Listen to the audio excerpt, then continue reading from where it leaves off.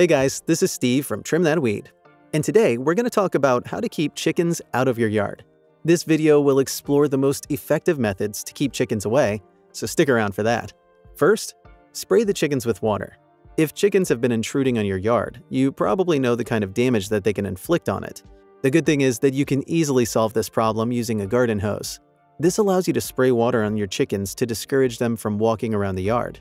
You're probably wondering how this method will work if you're not always at home. In this case, consider installing a motion-activated sprinkler. You should also ensure that the water pressure is light to avoid hurting the chickens. Plant herbs that chickens don't like. Just like humans, chickens are not attracted to a stinking smell. You can use this to your advantage and keep them out of your yard.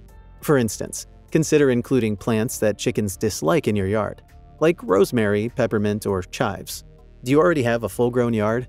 If yes, you'll still repel chickens by buying fully grown plants and herbs from a nursery and adding them to your yard.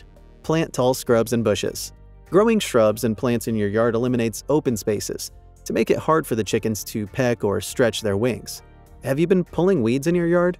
If yes, this could be the reason why your yard attracts chickens. Pulling weeds makes the dirt loose and exposes the bugs that chickens feed on. Therefore, you should let the weeds grow to keep the chickens away. Install a chicken wire. You should also consider doing this since the birds will not be able to penetrate it. If you have delicate plants in your yard that chickens may destroy, you can form a cage around them using the chicken wire to prevent the chickens from damaging them. Deter them using citrus peels. Did you know that chickens dislike the citrus scent? That's why citrus peels are effective at deterring them.